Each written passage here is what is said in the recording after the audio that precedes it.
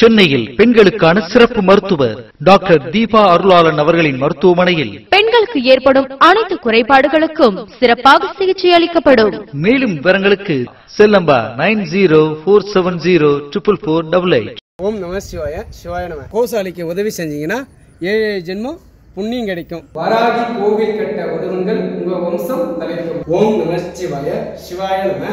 நல்லம்பாக்கம் சிவன் கோவில். இவ்வளவு வேலைகள் நடந்து கொண்டு இருக்கிறது உங்களால் முடிஞ்ச சின்ன ஒரு உதவி கொடுத்து உதவுமாறு கேட்டுக்கொள்கிறோம். பக்தி ட்ரீம் மேக்கர்ஸ் என்டர்டைன்மெண்ட் நெருக்கடியின் கோவிந்த பட்டரின் கோடான் கோடி நமஸ்காரம். கடன் சுமை. எல்லாரும் கேட்டா நான் வந்து கடன்காரனா இருக்கேன் கடன்ல இருந்து மீன் மீண்டு வர முடியல. அதாவது ஒரு ஒரு பணம் வாங்கியிருப்போம். அந்த பணத்துக்கு இன்ட்ரெஸ்ட் கொடுக்கறதுக்கு வட்டி கொடுக்கறதுக்கு வேற ஒரு இடத்துலேருந்து ஒரு பணத்தை வாங்கியிருப்போம். அதுக்கு இன்ட்ரெஸ்ட் கொடுக்கறதுக்கு வேற இது மாதிரியே ஒன்றுக்கு ஒன்று ஒண்ணுக்கு ஒண்ணு ஒண்ணுக்கு ஒண்ணு வாங்கி இது நாள் வரைக்கும் உருட்டதா சரித்திரமே இல்லை. கடன்காரனாக தான் நான் ஆயிருக்கேன். ஒரு கடன் வாங்கினேன். அந்த கடனுடைய வட்டி கொடுக்க முடியல.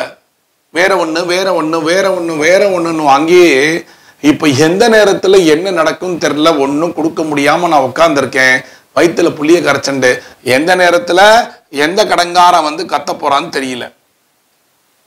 அப்படிதானே உங்களுடைய எண்ணம் இருக்கு? நிறைய பேர் இருக்காங்க அது மாதிரி. அது மாதிரியில இருக்கிறவங்களுடைய கடனை கொஞ்சம் கொஞ்சமாக அடைக்கணும் அப்படின்னா அதுக்கு ஒரு பரிகாரம் இருக்குது ஆனால் பரிகாரங்கிறது என்ன தெரியுமா? அது ஒரு சொல்யூஷன் தான்.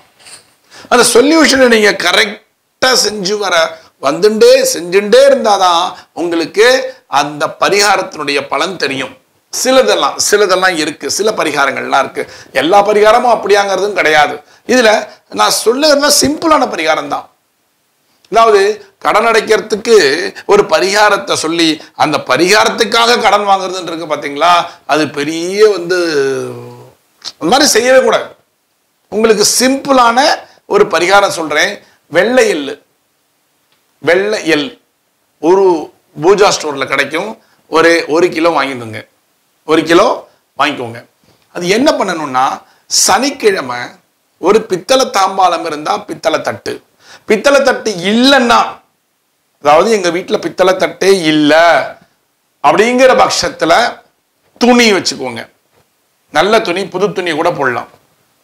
எவர் சில்வரை தயவு செஞ்சு வைக்காதீங்க. அது சனீஸ்வரனுக்கு உகந்தது. இப்போ என்ன பண்ணும்? வெள்ளை எள்ளு. அந்த வெள்ளை எள்ள நல்லா பரப்பிட்டு ஒரே ஒரு அகல் விளக்கில் நல்லெண்ணெய் காட்டன் திரி போட்டு ஏற்றுங்க ஒரு ஒரு சனிக்கிழமையும் ஒரு ஒரு சனிக்கிழமை இருபத்தி ஒரு சனிக்கிழமை நீங்கள் இந்த மாதிரி பண்ணணும். ரைட்டுங்களா அப்போ இந்த தாம்பா இந்த தாம்பாளத்தில் எல் பரப்பி பெரிய தாம்பாளமாக இருக்கணுங்கிற அவசியம் இல்லை. சின்ன தட்டு தட்டு சின்னதாக இருந்தால் கூட போதும். பெரிய தாம்பாளம் வேண்டாம். சின்ன தட்டு கொஞ்சம் எள் எடுத்துக்கோங்க. எள் எடுத்து பரப்பி அதுல விளக்கேத்துங்க. சனிக்கிழமை காத்தால அகல் விளக்கு. பித்தளை விளக்கு அந்த விளக்கு இதெல்லாம் தேவை கிடையாது. அகல் விளக்கு எடுத்து நெய் ஊற்றி திரி போட்டு ஏத்துங்க. ஏத்திட்டு சனிக்கிழமை காத்தால ஒரு ரவுண்டு சாயங்காலம் ஒரு ரவுண்டு ஏத்துங்க. சனிக்கிழமை முடிஞ்சு போச்சு ஞாயிற்றுக்கிழமை அதெல்லாம் கிளியர் பண்ணிடுங்க. ஞாயிற்றுக்கிழமை காத்தால பூஜை ரூமுக்கு வருவீங்கல்ல அப்போ இந்த எல்லாம் தூக்கி போட்டுட்டு பறவைக்கு போட்டாலும் சரி இல்லை செடியில் போட்டாலும் சரி போட்டுட்டு அந்த தாம்பாளத்தெல்லாம் அலம்பி வாஷ் பண்ணி வச்சிருங்க.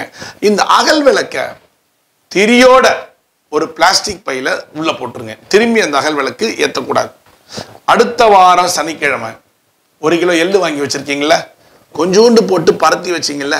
அடுத்த வாரம் சனிக்கிழமை திருப்பி அதுலேருந்து கொஞ்சம் எள்ளெடுத்து அந்த குட்டி தட்டில் பரப்பி புது அகல் விளக்கு புது காட்டன் திரி புது எண்ணெய்.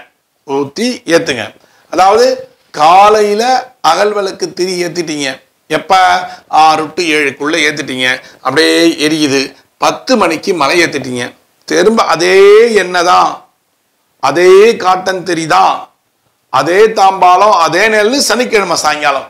ஆறு மணிக்கு ஏற்றணும் ஆறு டு எட்டு எரிஞ்சாலும் சரி ஆறு டு ஏழு. One hour one and half hours அப்படியே எரியும். எரிஞ்சிட்டு அதே மாதிரி நெக்ஸ்ட் டே மார்னிங் பூஜை ரூமுக்கு போய் சுவாமிக்கு நைவேத்தியம் பண்ணிட்டு எள்ளு அந்த அகல் விளக்கை கொண்டு போய் பிளாஸ்டிக் பையில போட்டுட்டு எள்ளை தூக்கி போட்டுருங்க. இல்லை நான் தூக்கி போட மாட்டேன் அப்படின்னீங்கன்னா இன்னொரு பிளாஸ்டிக் பையில எள்ளு சேகரிச்சுட்டே வாங்க கடைசியில் கொண்டு போய் குப்பையை கூட போட்டலாம். இது உங்கள் வீட்டில் மண் இருந்தால் போடுங்க இல்லைன்னா நீங்கள் ஒரு பிளாஸ்டிக் பையில சேகரிச்சுட்டு வந்து கடைசியில் போடலாம். இது போடுறதுனால என்ன? உங்களுடைய கடன் பிரச்சனைக்கான ஒரு தீர்வு கிடைக்கக்கூடிய ஒரு பரிகாரம். என்னன்னா இந்த அகல் விளக்கை ஏத்திட்டு ஏத்திட்டேன் என் வேலை முடிஞ்சிடுச்சு அப்படின்னு போகக்கூடாது. அகல் விளக்கை ஏத்திட்டு சனிக்கிழமை நின்னுண்டு அதாவது என் பூஜரும் மேல இருக்கு என் பூஜரும் கீழே இருக்கு நான் தரையில வச்சிருக்கேன் அப்படிங்கிறவங்க அவங்க அவங்க பூஜ ரூமுக்கு ஏத்த மாதிரி அகல் விளக்கு நான் நின்னுண்டு ஏத்துறேன்னா நின்னுண்டு. உட்காந்து ஏத்துறேன்னா உட்காந்துண்டு கண்ணை மூடி உங்களுடைய குலதெய்வத்தை நினைச்சு இந்த பரிகாரத்தை செய்யணும். என்ன? என்னுடைய கடனை எப்படியாவது அடைத்து நான் கடன் கடனிலிருந்து மீண்டு வர வழி செய்வாயாக அப்படின்னு ஒரு பிரார்த்தனையை பண்ணுங்க.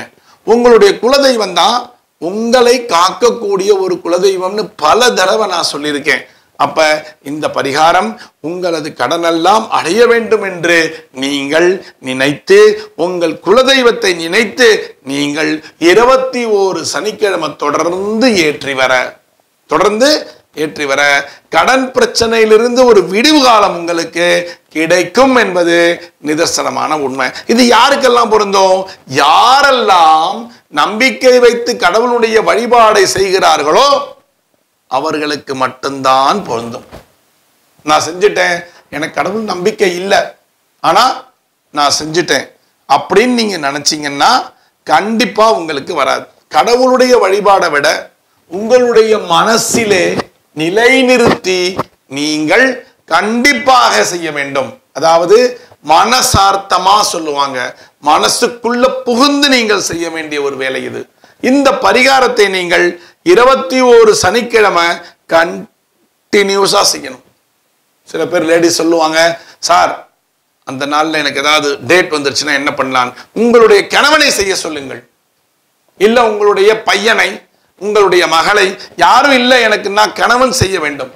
கணவன் கண்டிப்பாக செய்ய வேண்டும். இல்லை நான் தனி யாருமே இல்லை நான் மட்டும்தான் வீட்டில் இருக்கேன்னா கவலையே படாதீங்க. இந்த சனிக்கிழமை விட்டுருங்க அடுத்த சனிக்கிழமை செய்யுங்க. செய்கிறீங்களா கண்டிப்பா இதை இதை வந்து சிரமம்னு நினைக்காதீங்க.